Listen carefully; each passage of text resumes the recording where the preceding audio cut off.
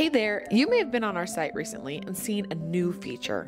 If you have ever wanted to choose the order of your Plus pages, the new Advanced Settings tab is for you. Let me show you where it is and how it works. After you have chosen a layout and clicked the Plus Pages icon in the navigation bar, you will be brought to the Plus Pages page.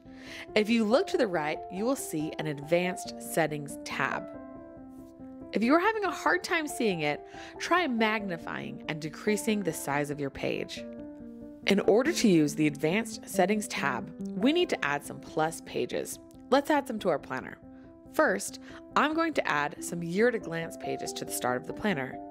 Then, add in a reminders page to the start of the planner. Next, I'm going to add a wellness page weekly, and lastly, I'm going to add in some dot pages, blank pages, and half lined pages to the end of my planner. For this planner, I didn't add any monthly plus pages. To choose the order our plus pages appear, let's click the Advanced Settings tab. Once we click the tab, a modal will open up. This modal is divided into four sections that correspond with the areas you can add plus pages to your planner. We have start of planner, monthly, weekly, and end of planner. You can see next to each section where we added pages, there are brackets with a number in between. This number represents how many plus page layouts were added for the corresponding section. For example, here at the start of the planner, we see the number 2. This shows that I have selected two plus page layouts to be added to the start of my planner.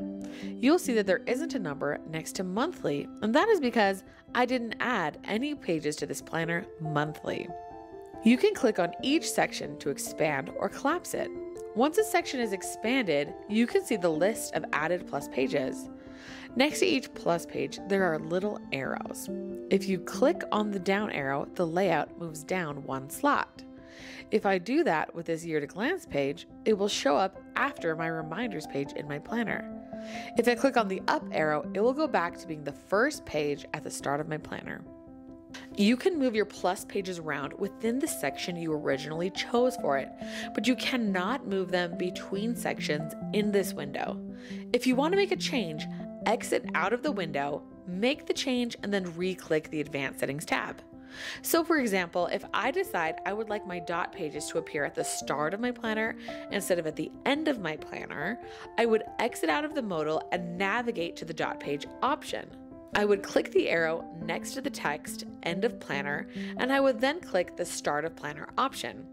Now, when I enter the Advanced Settings window, the dot page will appear in the Start of Planner section, and I can use the arrows to put it in the order I want.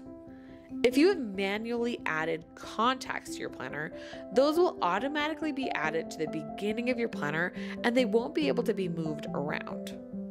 Once you have ordered your pages in the Advanced Settings tab, you can continue customizing your planner. Before you check out, be sure to view every page of your planner in the Review tab. This is so important. Review every page before continuing on to checkout. We hope you enjoy this new feature and that it helps you create the planner of your dreams.